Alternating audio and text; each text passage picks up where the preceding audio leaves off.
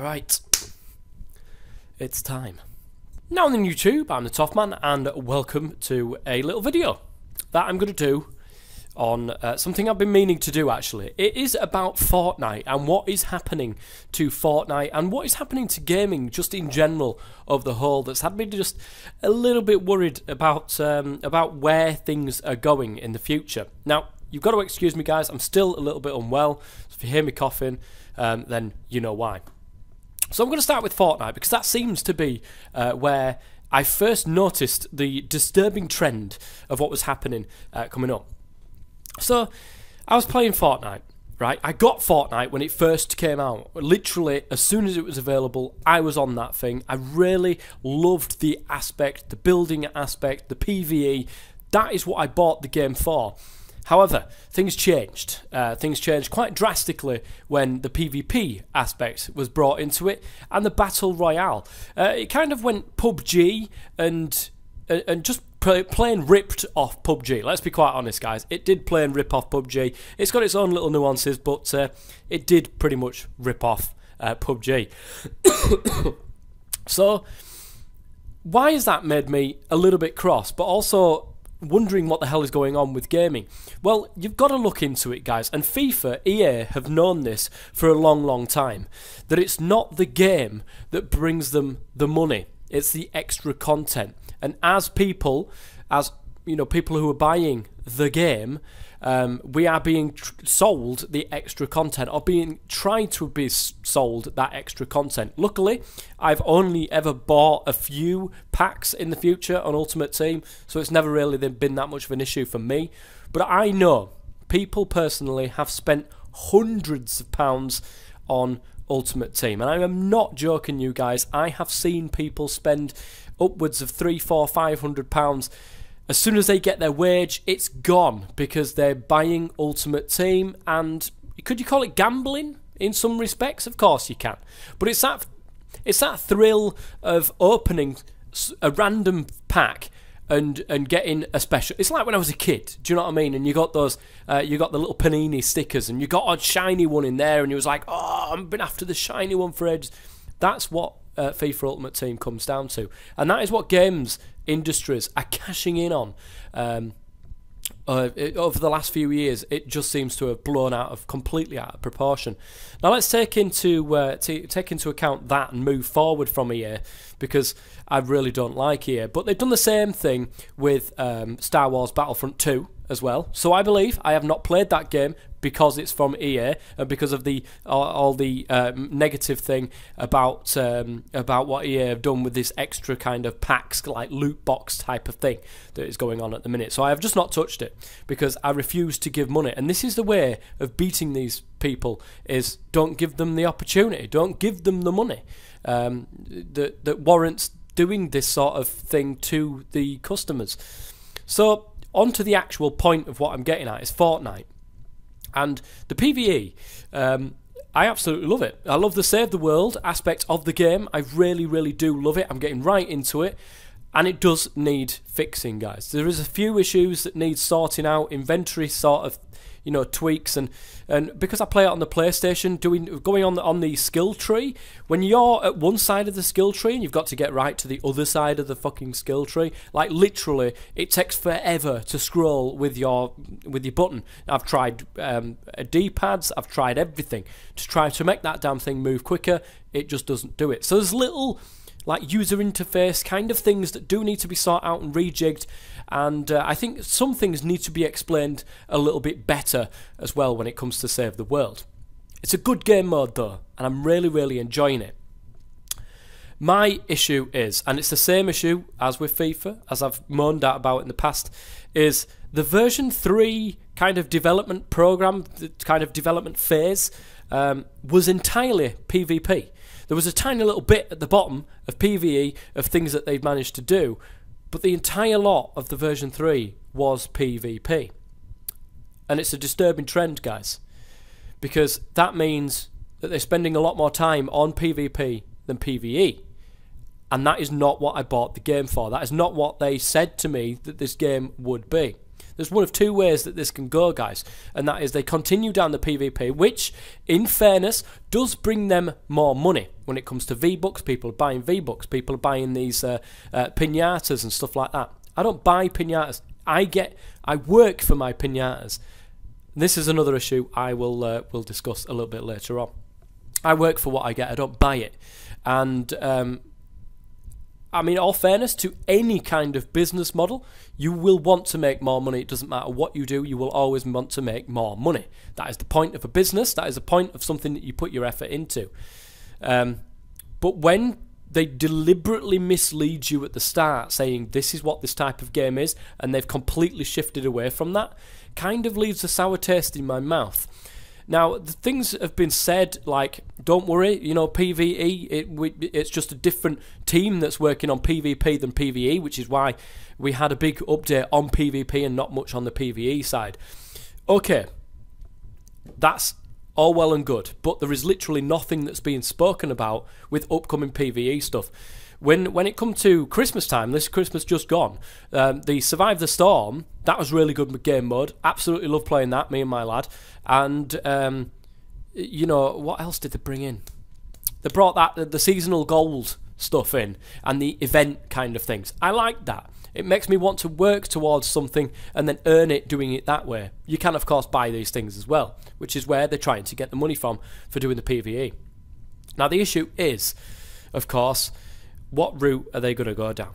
Are they going to go down the PvP route and just constantly, you know, concentrate on the PvP, the Battle Royale? It's a game mode I'm, I've no interest in PvP. Absolutely no interest at all. I pl- tried playing it with my youngest. He was badgering me. Dad, play this, play this, play this, play with me, please, play, play this, play this with me. So I did. I played him. I, I had a few games, two or three games, and um, I did decent, but there's just nothing there for me. Absolutely nothing there for me at all. He loves it. I'm not a. Uh, I'm not a fan. I am not a fan. But um, yeah, the the, the uh, what are they going to do now? Are they going to use? This is what I'm hoping is going to happen. This is one way that it could go. Are they going to use the money that they get from PvP to also improve the PvE side and bring th- more things into the PvE, which doesn't necessarily bring them more money in, but still has its core base of supporters? Me, for instance. Or are they just literally going to plough everything into that PvP and watch as PvE just disappears and dies? If that is the case, I am never buying anything from Epic Games ever again. That is not what they said at the start of this. What the whole thing was, was the PvE. They just realised that PUBG was getting a lot of ex- exposure and a lot of popularity and jumped on the bandwagon. If I wanted to play PvP, I would play PUBG. I wouldn't play Fortnite. If I wanted a PvE, I would play Fortnite and not PUBG. It goes both ways, guys. I don't see. They've made some money, okay? And that's the main reason why they've done it. But please, Epic Games, do not discount your PvE uh, supporters and backers who bought this game when you said that this was the game that it was going to be. I remember seeing a video very, very early on before it even was was thought of, and um, and I absolutely loved the look of it. It's it speaks to me in absolute volumes. They, I mean, I am a fan of Orcs Must Die. Love that. And I'm a massive fan of the original uh, Dungeon Defenders. Dungeon Defenders 2 kind of went by the wayside. It went trying to make money rather than trying to make a good game. Um, the only way to stand up to these companies, guys, is to not get drawn in and buy it. It was too late for me because literally it, I, I bought it for the PvE because at that point PvP wasn't a thing. Okay? So if I was if I was speaking to a new person at this moment in time who says, "Oh, should I get Fortnite Battle Royale? Uh, should I get Fortnite?" Uh, if you're interested in the PvP aspects and you're interested in PUBG and stuff like that, then yes, Fortnite would probably be a good thing. I would wait until it becomes free to play because they're making enough money off people anyway. Uh, they're just I don't understand why they haven't already made it free to play with the amount of people that has already bought the game they could just go ahead and say, right, it's free to play now, and then live off the uh, uh of what they get from the PvP. Um, I would quite happily pay uh, the PvE side of things, I would quite happily pay for a game like that. And you know, for expansions that got brought into the future, by all means, I would happily pay for that. Assassin's Creed has brought not a massive amount uh, into the, that sort of thing, uh, but it was. You can go ahead and buy these Helix credits that uh, will allow you to put more stuff into the game. You can get little bits and bobs that will help you throughout the game, um, which I don't think is a bad thing because it's not taken away from the actual game. They're not going all out trying to make you buy these Helix credits and then taking it away from the uh, the game aspect of it. The game is a very good game. I love Assassin's Creed, guys. The new Assassin's Creed, I can recommend that uh, from from here till next fucking Sunday. I could really recommend that game. So much so, I bought the season ticket as well. I really want to see those uh, expansion packs. I've played through the entire main campaign and uh, I'm level 40 now. I've left it. They've still got quite a few side quests to do, but I've left it because I want to wait until my level cap arises and then I can go in and do all those little side quests and then get my level up more that way. I've just left it for the minute. Love that game. There is the other one as well Call of Duty. Now, I, I love the new Call of Duty. I'm not going to lie, I'm really getting into the new Call of Duty the multiplayer aspect of it more than the the, the single player. Um, I've played one of the campaign, one mission. That's it. Uh, and then I went online. I've been playing that with my eldest. Actually, he's much better player than I am. Uh, I don't know where that came from, but he, I've been playing it, and that is a really really good uh, game. Love it, absolutely love it. And they've brought a loot box system in as well, where you can take these collectibles and then you can get these uh, guns.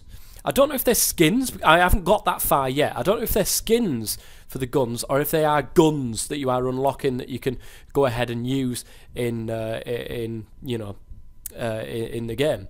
Now, I would be very disappointed if the fact of these loot boxes unlocked actual guns that were powerful versions or something like that, because that is basically paying to win, and I don't like that. Which brings me on to my next point. The likes of Fortnite, the likes of um, Call of Duty, for instance. Call of Duty is massive. I don't know if Destiny does it as well, actually, to be fair. I could be wrong. but the likes of Call of Duty, especially, as soon as somebody. This is my idea.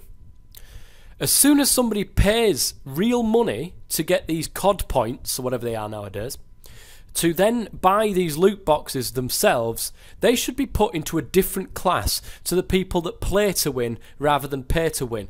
I do not think it is morally right to put pay to win people in a match with play to win people. I do not think that that is right, and that is something that needs to be stopped and stamped out immediately, especially in multiplayer games. You should not be allowed. All the people that have paid by all means, go in your own fucking lobby. Go in your own lobby and play amongst yourselves because you cheating bastards using your own money to fucking get get a, a leg up. That is is not what gaming is about. It's not about cheating to get there. It's about earning what you get. All the supply drops that I've earned in COD are through doing stuff that I've done in game. I've achieved that, and there is an accomplishment around it that cannot be bought. You can't buy that accomplishment. And I think that play to win people should be kept separate to pay to win people. I don't think it's fair. I honestly don't think it's right. I don't think it's fair to put these people in uh, with one another because um, of the achievements that you get. You know when you're playing with somebody then that you're playing with somebody who has achieved through skill and through their own play, um, the kills, the, the guns that they've got, the skins that whatever it is that they have that you don't have, they've achieved that. In the pay to win, I believe people can just go ahead over into a different lobby and stay well away from me because I don't want to play with somebody who's bought what they've got because that it's typical. It's a typical simulation of life, really, um, because you get people who really you know, work and work and work and work and and when they get a PlayStation, it's like, oh my god, I've I've, I've earned this. And then you get the other side of the uh, other side of the coin that you know, daddy's got a really good job and and and you're at home, sat on your backside, you know, not contributing anything to society, and yet you get given a PlayStation. It seems that kind of way, and there's a lot of there's a lot to be said about like you know the the the life simulation that's in these fucking things. You know, money gets you everywhere. I mean, money is everything, and I really wish people. The only people who don't say who say, "Oh, money's not everything," are people with money. Is that right? There's a way around that I was looking at it. I remember thinking about it a while ago, but I've slept since then, so never mind. But this is what I'm saying, guys. I think that there should be two separate things. I think there should be people that appear to win and people that play to win, and they should be completely separate from one another. Now, I want to bring into I want to bring in you know about gaming recently that that has really kind of I, am not finding anything within gaming recently, apart from the Assassin's Creed, um, the PVE on Fortnite, and of course the multiplayer on COD. I'm not finding anything different, new, or exciting to play because too many companies are looking at how they can make more and more money, bringing in these stupid systems like loot boxes and stuff like that. Now, I don't mind loot boxes as long as you earn the loot boxes not pay for the loot boxes. What they've basically done is looked at mobile gaming, looked at Candy Crush, looked at play, uh, games like that, and thought that works. That works. People buying things for the game that can help them out in the game. That's fair enough. You've, they they can earn them, same as what they do in Candy Crush, but they can pay for them as well, which gives them an unfair advantage in my eyes above the people who play to win, who don't have the money to go out and spending, who don't want to, play, pretty much like myself. I've paid 50 quid for the game. I don't want to then spend another £50 just so I can keep on par with every fucker around me. That is not what I buy a game for. I buy it for the enjoyment. The Last of Us, a brilliant single player campaign. It was fantastic. There was no multiplayer, there was no loot boxes, there was nothing. It was just game. I miss those times. I do miss those times. And um, I really want those times to come back, but it won't because there are too many people buying into loot boxes. There are too many people buying into collectibles. There are too many people buying into, please make the game easier for me. I've just spent 50 quid, but please make the game even easier by chucking another 50 quid at it. It's not my idea of fun. It certainly isn't my idea of gaming. And gone are the days, I think, guys. Gone are the days where you can just sit down and play. It's disappointing. Um, there was a game actually in the past, Guild Wars, the original Guild Wars. I bought the game and they did free updates. And it was like, how are they managing to get the money to do this? I never understood how they did that. I don't think they did in fact, get the money to be able to do that, which is why Guild Wars 2 came out. And I think a few things have changed within Guild Wars 2 to try and recuperate some money. They did, however, have expansions that you could buy on top of the original game. And this is something like DLC. I don't mind stuff like that because it adds content and I pay for that new content. It's the same with when you look at Minecraft. Minecraft was a game that um, it didn't need loot boxes or anything like that. It was a good game, which is why people bought it. It brought into the creativity side of us. It brought into all that sort of uh, of thing that, that which made it so popular. For me, modding was massive for uh, for for Minecraft, and it certainly changed the way that I looked at Minecraft and the way that I wanted to play Minecraft. I simply couldn't play vanilla anymore. I would have to play modded because it's just so much better modded. So the point is then these modders that sit down and, and, and make this content. There's a whole hoo ha uh, on this, uh, you know, in Twitter and YouTube, all sorts of places that um, that this this modding community that they were going to do something so that you paid for the mod that you get. I don't think that's a bad idea. I actually think it's a really really good idea, mainly because it gives modders an incentive to make a really, really good mod and keep on top of it for what the price you pay. I think that's a really good thing for modding. There's a lot of mods around the place that aren't fixed, that aren't even usable properly, that um, you know get uh, memory leaks and, and such and such and so forth. I think that it was a really good idea to bring in sort of a paid modding service that maybe a fiver, fiver a fiver. Then this is another aspect of what people don't get from stuff that they pay for. Okay. Um, uh, I'm going off topic a little bit here, but you know, we'll we'll go with it. We will go with it. Basically, guys, I look at games, how much I pay for them versus how many hours of enjoyment that I'm going to get from this particular game later on. So, the games like The Last of Us, for instance, it was forty pounds. It wasn't a forty pound, uh, a forty hour uh, campaign. I'm pretty sure it wasn't. I could be wrong, but it wasn't a, a 40 hour campaign. Roughly, that is about, even if it was 20 hours, if it was 20 hours, that's 20, um, that's £2 per hour. Is it? £40? 20 hours? Yeah. £2 per hour of enjoyment. You can't go to the cinema without spending 50 quid for an hour and a half by the time you've eaten, you know, popcorn, nachos, cheese, all that sort of stuff that I eat because I'm fat, you can't do that. You go you go bowling, and what what's that? It's about an hour, two games in an hour, and that's thirty odd quid gone. This is what I mean about gaming. People are too busy whinging and moaning about the price of stuff that they're trying to drive the price down, and the, and gaming uh, uh, gaming companies are looking for other ways of making money. This is a good way of getting into uh, what I was actually talking about. They're too busy looking at the price and thinking, sixty quid. 60 quid. I'm paying 60 quid for that. No, I'm not. I'll wait till it comes out on sale. Then it comes out on sale 30 quid. But the gaming company have already lost that original money. They're, they're literally for half price. Okay, so They've got to find a way of making money, hence loot boxes, hence this, hence that, hence this whole shit that comes along with it.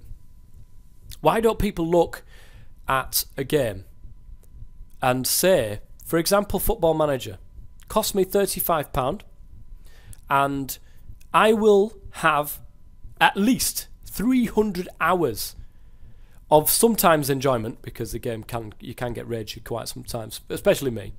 But 300 hours. I mean, let me just use my uh, my calculator here, because why the hell not?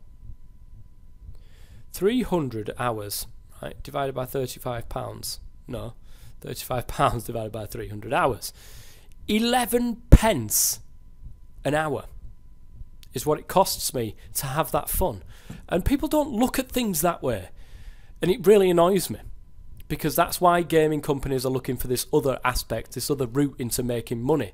And they've gone, unfortunately, the wrong way of doing it because it takes from the game and more into business. And I just want to play a game. I don't want to play a business. I don't want to get into this this horrible system that that started up, and it's only gonna get worse. I don't mind loot boxes, but please do not let them be available to buy from your own money. It's just not fair or right on the game. If you do do that, which I have as a business, and having been a business owner, you do want to make money, and I agree, but at the same time, you're losing a lot. You're losing a lot of what makes gaming great. So if you're going to do it, I reckon they should literally split the uh, the communities because I want them. To, I want to see people who play to win. I want to be with those people and and achieve and get achievements and and really earn what I'm doing.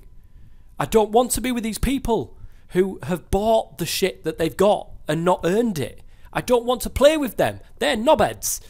These are good people. These know how the world works. Not these bastards who give money to fucking companies that don't deserve it because they haven't given me or given a good gaming experience. They just want the money. They don't want to fix.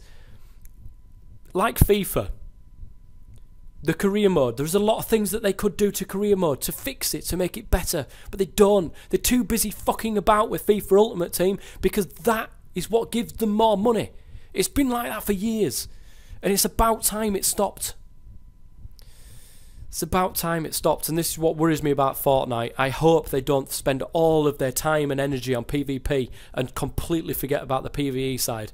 I hope they use some of the money that does come through from PvP and put it into the PvE side because that is what the game was originally meant to be. That is what millions of people have bought into before you changed it.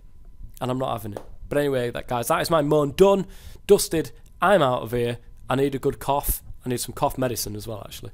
And somebody rang me, so I need to go and find out who that is. Anyway, till next time, guys. Be the top man as always. Stay safe.